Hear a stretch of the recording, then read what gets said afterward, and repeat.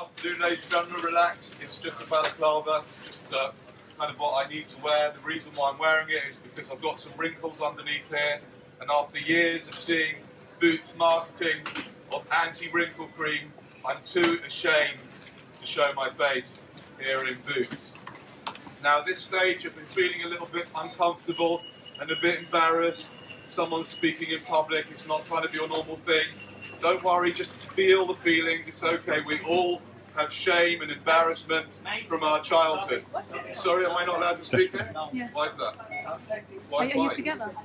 Uh, It's no. a store which is not approved by me. Okay, okay, I'll get someone for you. You're going to get someone? No. What are you going to tell them?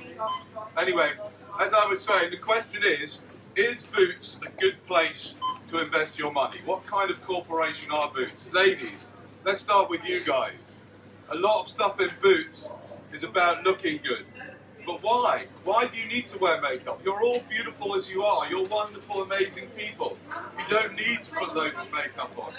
I mean, I admit there are some, probably a small number of people that really do. You know what I mean? Like, but the most of you, you're fine without makeup. And then there's all that perfume. I mean, we all smell, don't we? Guys, we all smell. Underneath it all, we know, you know what I mean? Just get used to it, it's alright. We've all got the same kind of bodily smells, roughly.